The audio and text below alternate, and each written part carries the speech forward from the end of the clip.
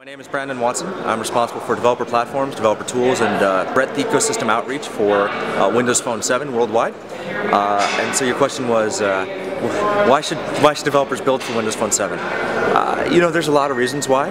Uh, there's a unique opportunity on the phone to be first to market, of course, so it's a new platform.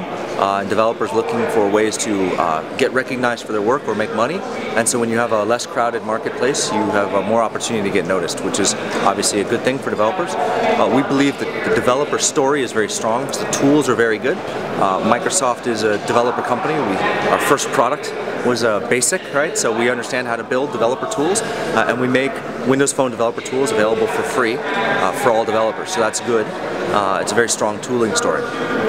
And then the opportunity with the phone itself and, and, the platform. Silverlight is the basis for applications and XNA is the basis for games. Uh, it's a very rich platform for building amazing and beautiful apps and games. Uh, and what most developers will notice is that they can make unique applications where their brand shines through but it's a very consistent user interface and that users will understand how to interact with their apps despite the fact that they look so different across all of the different brands. Uh, so we're very excited about it and we, we know that developers have been very excited. The tools have been downloaded over half a million times, so that's you know, very exciting and about, uh, I think about 40% from Europe, so that's a big number coming from Europe. Lots of European developers are very excited about that.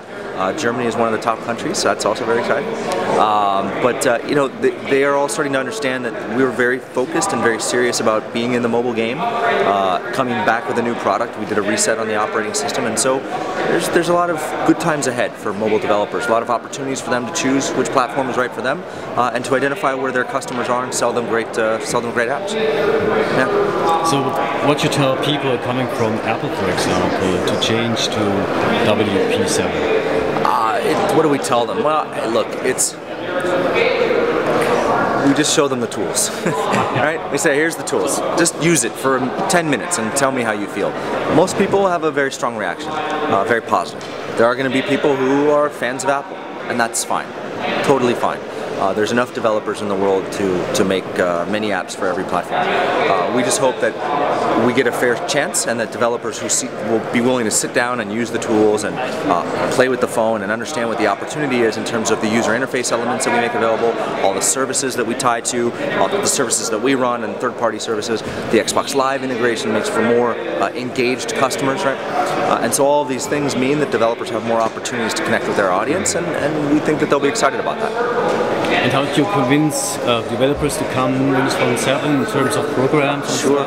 Well, so there's there's varying levels of programs that we have um, from you know, very engaged, uh, very highly managed relationships with developers where these are developers that we know we got to have Facebook, Netflix, Twitter, uh, where we spend a lot of time and energy ensuring that they build amazing apps. We give them access to technical resources, our design studio, uh, we assign developer evangelists to the account to make sure uh, they have whatever they need, uh, plus the tools, plus if they need Windows or whatever software they need to get their services up and running.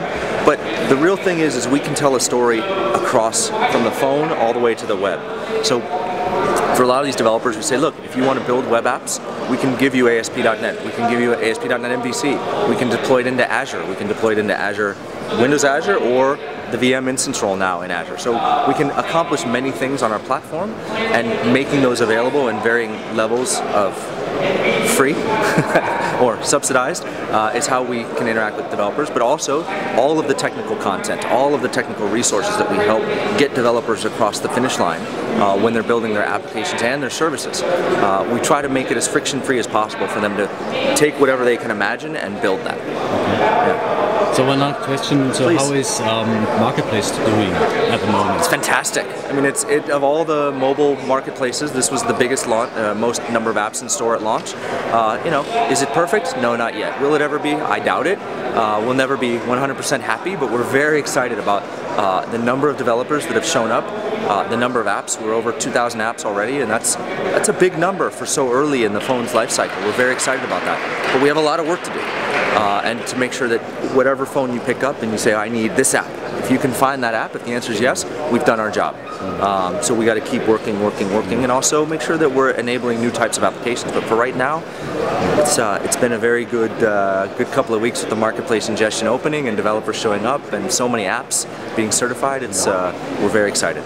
So hopefully Skype is showing up very soon. Well, Skype's going to require a, uh, a technical change to the platform because they need sockets uh, enabled, uh, and so there's a couple of things we're doing to work with Skype to, to make that happen. But you know, we we understand what they need and they understand the limitations of the platform right now. working cl- closely together. Uh, you know, we're always talking to many companies. Yeah.